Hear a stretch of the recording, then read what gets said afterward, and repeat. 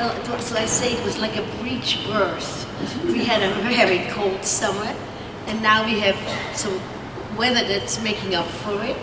And everybody says it's going to be a great year, but it will not be great unless we have the, the, the blessing, because we need to have some divine uh, blessing to, to continue, to see that this, this, and this is a little Cabernet. I say a little Cabernet because the big ones are still hanging on the vine.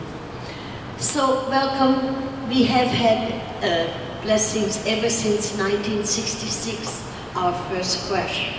At that time, I remember, it was out by the crushing pad, which was now kind of where we have a delivery area and parking. And it was still kind of a little old-fashioned, I guess you would call it. And to make it real, our first grapes were brought in by a neighbor friend, by Bob Wood, and we had, when they came in, we had a bunch of girls in their bare feet, feet press the grapes. And it was a wonderful scene, of course, and uh, really, things have changed a little bit, right? And what also, blessings that I remember was the blessing we had on 9-11. Can you imagine 9-11 was our great blessing.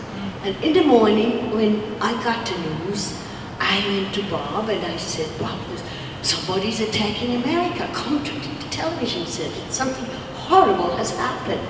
And then sort of, as we on, on, saw the, the, the horrific scenes, I said, well, this is, this is our great blessing. So he said, well, I think we have to cancel. But some people had already started, maybe from uh, other parts, and we're in the car.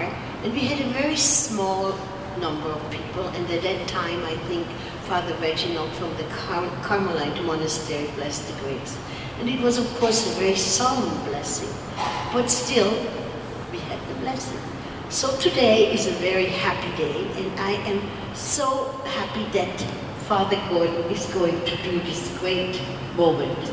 And I want to also say hello to everybody that is here because most of our people that are joining us today are our our co-workers at the Robert Mondavi Winery. And we want to thank everybody and the guests too that have come, but especially the many, many people that are always here early in the morning to start making good wine.